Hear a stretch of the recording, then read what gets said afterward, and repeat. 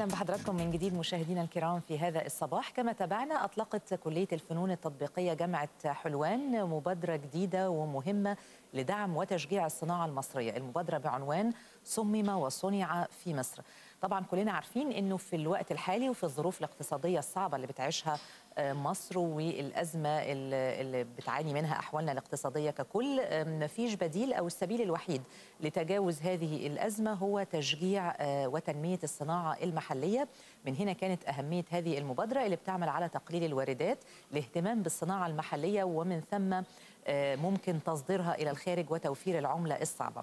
القائم بعمل عميد كلية فنون تطبيقية بجامعة حلوان أكد إنه الهدف زي ما قلنا من هذه المبادرة هو هدف قومي وهدف حيوي وإنه المنتجات اللي هيتم إن شاء الله تصميمها وتصنيعها منتجات هتكون في المقام الأول بتخدم الأسرة المصرية وهيعملوا على تحسين جودة هذه المنتجات وبالتالي صناعتها بشكل لائق يليق باسم مصر.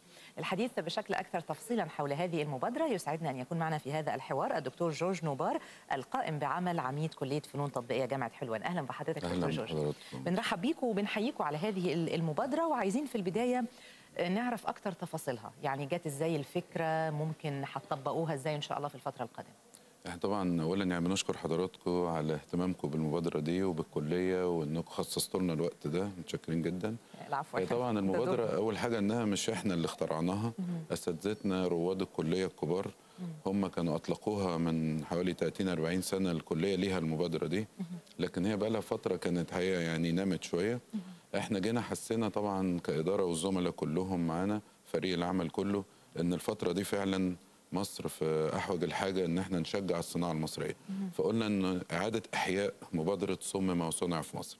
وإحنا كلية ليها خصوصية إن كلمة صمم دي يعني كل واحد بيتكلم عن صنع في مصر. إحنا عندنا صمم وصنع سبب رئيسي إن الخريج بتاعنا بيسمى مصمم. يعني يعني في قسمين بيروحوا نقابتين اللي هي المهندسين ومصممين فنون تطبيقية الباقي كله في نقابة مصممين بس فنون تطبيقية فاسمها مصمم. فقلنا إحنا طبعا بنهتم بالمنتج من أوله لآخره من الألف للياء من أول الفكرة بتاعة التصميم لحد التنفيذ نخلص ننتهي بمنتج نهائي في الآخر يعني. فمن هنا قلنا نعيد إحياء ده بالذات في الفترة دي مهمة جدا. ابتدينا من شهر 12 وقلنا إن شاء الله 2017 كله هيبقى المبادرة دي ماشية في الكلية بكذا فاعلية طبعا. إحنا طبعا قسمناها عندنا كذا حاجة. أول حاجة عندنا 14 قسم يعني دي حاجة كبيرة جدا. الكلية دي دايما نقول عليها إنها زي جامعة. حتى عندنا دكتور ماجد قائم بعمل رئيس الجامعة دايما يقول لنا دي جامعة. 14 قسم يعني.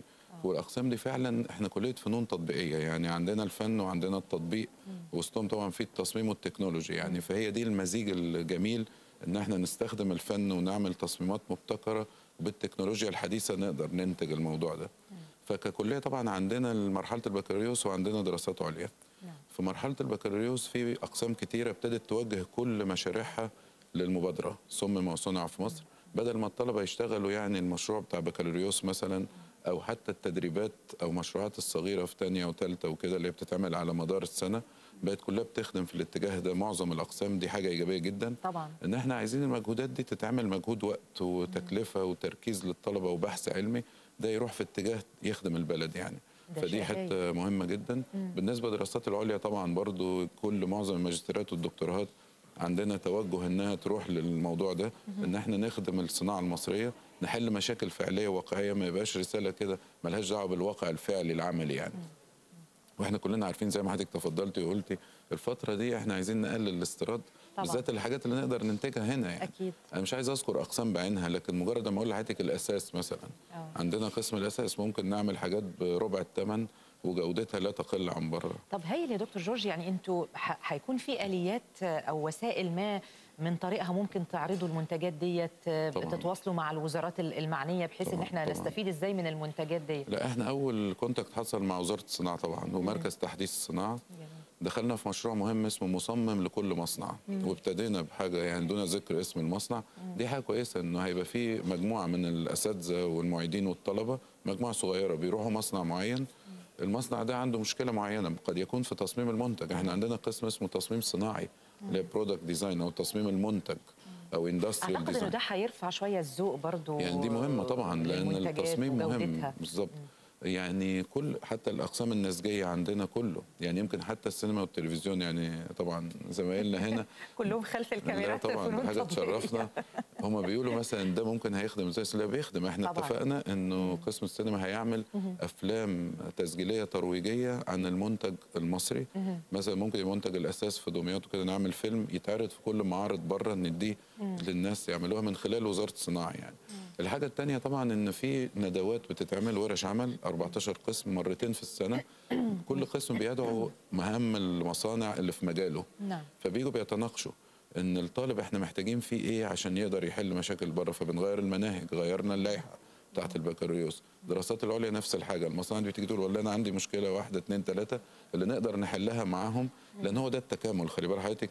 إحنا إمكانياتنا يمكن المادية شوية ضعيفة فالمصانع بتساعدنا في ده. نقدر نعمل بحث علمي كويس. الحاجة التانية كمان إحنا فكرنا لازم نشجع المنتج المصري يعني دي حتة مهمة. طبعا. فعملنا طبعا مع الزميلة الفاضلة دكتورة ميسون قطب مجموعتها بتاعت اللي هي خدمة المجتمع تنمية البيئة. عملنا حاجة معرض اسمه اشتري المصري. ده كان مهم جدا.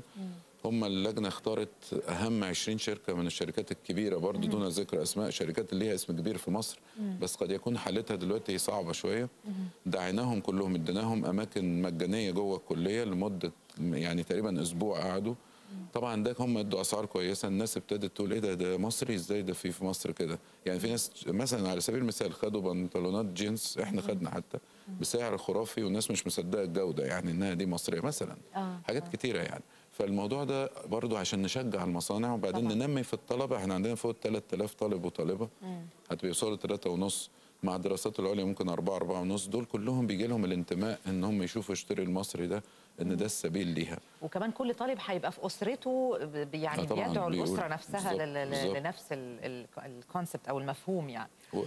وإحنا في نقطة مهمة إن برضو يعني عشان نبقى واقعيين يعني إن ما زال عندنا بعض المنتجات يمكن يعني في حاجتين مش مشكلتين بنحاول نحلها.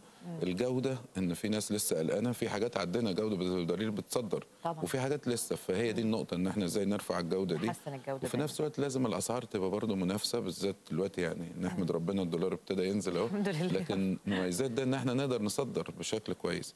ابتدينا نعمل كمان حملة مهمة جدا في التسويق. الناس لازم تعرف أنا كنت التسويق. لسه هسأل حضرتك آه عن طبعاً، التسويق. مهم قوي قوي لأن؟ التسويق إحنا التسويق بيدرس في مرحلة بكالوريوس وفي الدراسات العليا. الحاجة الثانية التغليف بقى. التغليف عندنا قسم الإعلان وقسم طباعة ونشر وتغليف. يعني ده بيهتموا بالحتة دي حتى ابتدوا في قسم زخرفة بيهتموا بيها. في طالبة حتى في قسم نحت كسبت جايزة عالمية في التغليف. التغليف ليه مهم؟ لأنه إحنا بنقول ده بيحمي ويحوي ويبيع كمان يعني ويعلم. فهو ويروج ويسوق التغليف نفسه. آه. فممكن إحنا بنصدر حاجات كويسة جدا لكن شكل التغليف ما يشجعش أو تحس حياتك العلبة ضعيفة في برة الأجانب بيقلقوا طبعا بيقلقوا. آه فممكن يبقى منتج جيد لكن التغليف بتاعه مش تمام. ده الشق اللي هو في الصناعات يعني. في شق تاني مهم جدا جدا حضراتكم يعني أظهرتوه في الفيلم اللي قبل آه، البداية اللي اللي هي طبعا الحرف التراثية واليدوية. دي حتة مهمة جدا في صم ما صنع في مصر. لسه كان عندنا برضو من خلال آه، وكالة خدمة المجتمع حاجة بنسميها ملتقى التراث. كل سنة بنعمل. السنة دي كانت تيمة فرعوني أكتر. بندعو كل الشركات المؤسسات اللي عندها الحرف اليدوية والتقليدية والتراثية بتاعتنا بيعرضوا برضو في الكلية وبيبيعوا منتجاتهم بسعر كويس. ده برضو عمل ترويج عمل انتماء بيعرف الطلبة. وبعدين بنعزم إحنا كل حوالينا عشان ما نبقاش بس في الكلية يعني. آه، فاللي حصل إنه برضو الناس جم إيه الحرف دي؟ يعني في السجاد في الحصير في الخزف في النحت حاجات بتعزموا كل اللي حواليكوا في منطقة مثلا الزمالك لأ انهم يجوا آه في الجيزة وكده ومن جامعة القاهرة طبعا آه، اعداد كبيرة. يجوا يشوفوا. فطبعا ده برضو اولا بنساعد على ترويج ال- اللي هي الحرف اليدوية دي والناس تقدر تسوق نفسها لأن في حرف بتنقرض لازم نلحقها. طبعا. في المجال ده عملنا برضو حاجة كويسة جدا برضو مع تحديث الصناعة. إن شاء الله يعني في اجتماع يوم الاثنين في الموضوع ده. إن إحنا نطلع بره القاهرة شوية نبتدي ندرب الأسر بالذات في المحافظات المحافظات. الصعيد مثلا آه، في سينا يعني. طبعا إحنا شايفين مثلا في سينا الحاجات اللي بتحصل طبعا تعزينا لكل الأهالي لكن آه، مهم قوي إن إحنا نساعد في ده إزاي إن إحنا لما نروح وندي ندرب الناس دي هيبقى عندهم مصدر دخل البطالة تقل الإرهاب يقل الترويج السياحي يزيد وإن إنتوا تدربوهم على إزاي ممكن آه، آه، يكون في منتجات مصرية آه على طبعاً. مستوى عالي من بالظبط. ال- من الجودة وال- والإتقان. ده ده شيء. مهم جدا. بالظبط. واضح إن أنتوا كمان درستوا الموضوع من مختلف جوانبه آه. وأبعاده. طب إيه ممكن تكون أبرز التحديات أو ال- ال- العراقيل اللي, بتواجهكم؟ ولا أقول لحضرتك هو العراقيل إن في بعض الحاجات محتاجين بنجيب خامات طبعا. الخامات بالذات لو خامات من هنا محلية ونقدر نطوعها ونعمل بيها منتج ده كويس. لكن ما زال طبعا يعني إحنا مركزين على حتة بقى قوي اللي هو الإنتاج المحلي حتى للخامات اللي إحنا بنحتاجها. دي حاجة مهمة جدا يعني أنتوا عايزين تنتجوا الخامات كمان نفسها. آه مش في الكلية طبعا يعني نساعد بس يعني. في آه ال- الأماكن ال- أنا أقول. مثلا مثال في تخصصي أنا قسم الطباعة يعني والنشر وتغليف عندنا مشكلة في الورق الطباعي النهارده. الورق مثلا بقى ضعف السعر. الجرايد النهارده بتكلف جدا الكتب المجلات كل حاجة غليت عندنا مصانع ورق في مصنعين ثلاثة إنتاجهم غير كافي. لأن إحنا ما شاء الله يعني 93 مليون أهو. دلوقتي والمنتج ده. فدلوقتي في اتجاه كبير من خلال غرفة صناعات الطباعة والتغليف. بتشرف أكون عضو فيها. مع طبعا جهات حكومية كبيرة زي المطابع الامريه وزاره الصناعة حتى من ال- طبعا ال- الجهات العسكرية إنه في إن إحنا نقدر نعمل مصنع للورق يخدم مصر مثلا ويخدم أفريقيا دي خامة مهمة جدا. أكيد. أما نيجي نشوف الأحبار نشوف بكرة في اجتماع مهم برضه في هيئة مطابع إمرية كل الجهات المسؤولة إن إحنا نبتدي نعيد مصنع ألواح طباعية الزنجات مثلا. ده لو في كل المجالات مشينا كده ده مهم. لأنه أكيد. إحنا حتى لو اهتمينا بتصنيع المنتج لكن ما زال عندنا عائق إن في بعض الخامات هنجيبها من بره يبقى إحنا هنستورد. مرحلة مش مهمة يعني لكن أنا رأيي كل ما نعتمد على نفسنا إن إحنا ننتج حاجتنا جوه هنسيطر أكتر على اقتصادنا. وهنسيطر على عملتنا ونقدر نصدر لأن إحنا في منتجات حقيقية بتتصدر بشكل جميل جدا جدا يعني أكيد طيب آه، دكتور جورج المعارض أو الأسواق اللي ممكن تكون هتعرضوا فيها حددتوا الأماكن ديت وهيتم إعلان آه، آه، تمام. الناس بيها ده؟ سؤال سؤال مهم جدا بشكر حضرتك يعني عليه إحنا عملنا برضو من ضمن المبادرة دي حاجة كويسة استغلنا طبعا غرف الصناعية. إحنا معظم أساتذتنا أعضاء فيها وزارة الصناعة مشكورين. ده كويس إن يكون في على فكرة الاتصال والتعاون ده ما. بينكم وما بين. كل الجهات دي دي. حاجة يعني ده توجه إحنا عايزينه يكون مطبق في كل ال- الدولة بمختلف أجهزها أجهزتها ومؤسساتها. لأن إحنا ما ينفعش نشتغل أكاديمي عن منأى من السوق الواقعي. إحنا دايما حتى الرسائل بنقول لهم عايزين الرسائل دي تقرأ عشان الناس تقرأ ما نحطهاش على الرف كده. طبعا أول حاجة عملناها كل المعارض اللي بتتعمل في مصر. دي أول حاجة. جبنا كشف بيها واديناها للأقسام المعنية. طبعا آخر حاجة كان في الأثاث Furnex مثلا حاجة كبيرة جدا. القسم بالطلبه بالاساتذه شاركوا فيها. إحنا إن شاء الله 27 4 في ال Techno Print بتاع الطباعة والتغليف والنشر. إحنا داخلين الكلية والقسم. بنعرض في الحتة دي طبعا المعرض حاجة جميلة جدا اللي هي بيسموها win win كله يكسب. كله. المعرض بيدينا مكان free طبعا مش عشان ندفع عشان نعمل يا دوبك يعني. آه. مقابل ده إحنا بنديهم خدمات أول حاجة بنعرض منتجات الطلبة والأساتذة في المكان ده. فده ترويج للكلية مهم جدا. حاجة كويسة للمعرض بنعمل مسابقة تخص المعرض. يعني مثلا في اللي فاتت في ال Paper Middle East اسمه عندنا عملنا هنا حاجة مسابقة مثلا لعلب المناديل. حاجة بسيطة. لكن كان في كم مصانع علب مناديل مشاركة والولاد عملوا إبداعات يعني حقيقة. طبعا. وإحنا بنفخر إن طلبتنا بيكسبوا جوائز دولية في كل الحاجات اللي دخلوها.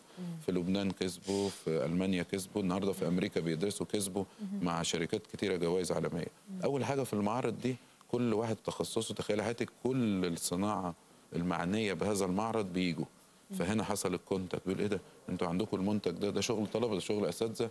حصل link اتعملت مشاريع اتعملت كتيرة مشاريع. مع جهات من أول جهات سيادية للقطاع الخاص. ده ده نمرة واحد.